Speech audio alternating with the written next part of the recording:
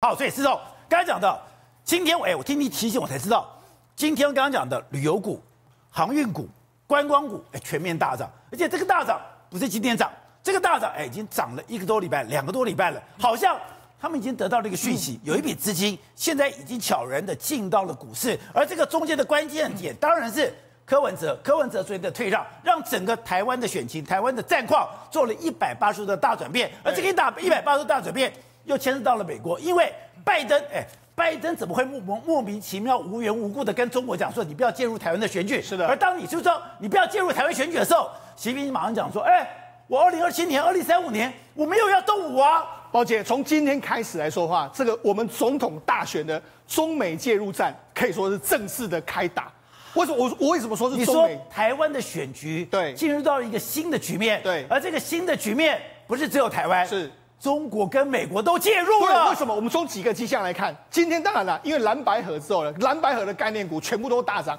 饭店观光啊，或国内的产国内的内需股全部都大涨。可是问题是，这个资金不是只有今天才开始涨，这个资金来说，十一月初就已经开始在这边进驻，似乎是他们有意的，要配合整个哎。营造蓝白河的气势里面，让股市上涨，当然营造这个第一炮的这个感感觉。对，好，再就是什么呢？再就是昨天这个蓝白河的时间点，有点令人觉得有点莫名其妙。因为为什么？因为为什么？原本的柯文者进去的时候是不想要这个蓝白河的，对，出来之间就突然蓝白河。那蓝白河他还讲说啊，百分超过百分之六十的民意希望政党轮替，所以我们要呼应民意，不会想到个人的问题。那你之前在坚持什么？对，问题是他之前都在想个人的问题啊，为什么突然之间？而且你看他是相当的心不甘情不愿，在整个握手的时候是马英九把他拉过来，而且马英九还偷偷跟他说，你也没想到会有这一天吧？你没有想到有今天。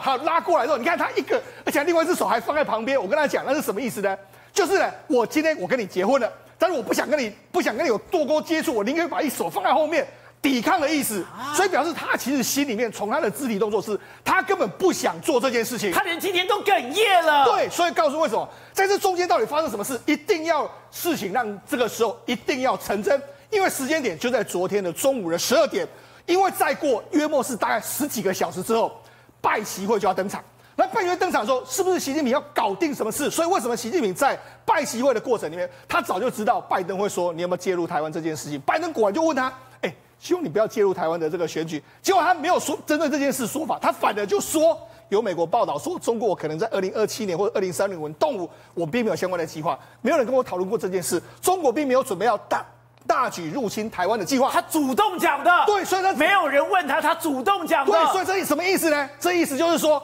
我台湾已经在我的搞定了，我已经搞定了蓝白河之后，就没有什么他认定蓝白河可能会赢，蓝白会赢他说就没有动武的必要，所以他就说没有，而且他主要说的是没有人跟我讨论，所以言下之意来说，当然是对美国放出一个一个比较让美国比较比较没有那么喘息的这个状况，就是我没有要准备攻击台湾的意思。而且是哦，你特别点出了习近平的肢体语言，习近平的表情，因为在这边我们看到很多媒体报道的时候是好像。拜登在改他二号楼对，是拜登讲我寸步不让，拜登讲我说你是个独裁者，哎，照时候这个时候习近平应该很难看到，习近平应该很不爽啊，而且习近平应该很强硬啊，没有，你说你注意到了，习近平这一次到了美国，到了这个旧金山，他表情非常轻松，态度非常的自然，而且你刚刚讲的，他脸部的肌肉是放松的，对，好像有一个大石头落下了。